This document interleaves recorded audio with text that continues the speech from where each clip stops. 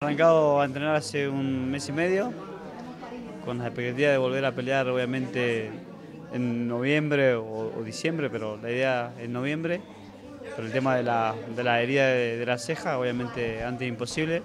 Así que estamos elaborando en eso, con, muchas ganas de volver a ser campeón del mundo. Nuevamente estamos con esa, con esa meta, así que bueno, este, lo hemos propuesto esto y yo calculo que, que lo vamos a lograr. ¿eh? Octubre, noviembre, ¿qué habrá? Una, obviamente una pelea como para, para volver, ¿no? Es una forma de decir. es pelear a, 10 o a 8 rounds.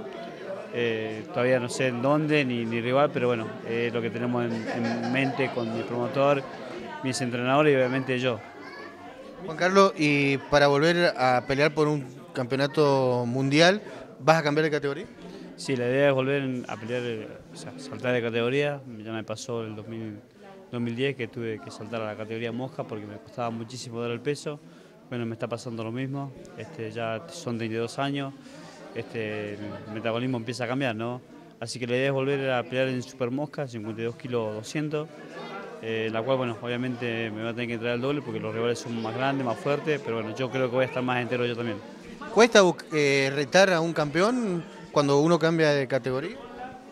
Eh, sí, por ahí, por ahí sí, pero mi trayectoria es muy buena. Yo he sido campeón mundial en dos categorías, por ahí mucho, este, a mí mucha, se me hace mucho más fácil que a chicos que recién se están iniciando, por la trayectoria que tengo. Yo capaz que con una o dos peleas ya me, me, nombran número, número uno, ya estoy número, número 10 del ranking mundial y quedé. Este, así que bueno, por eso mismo te digo que es mucho más fácil para mí.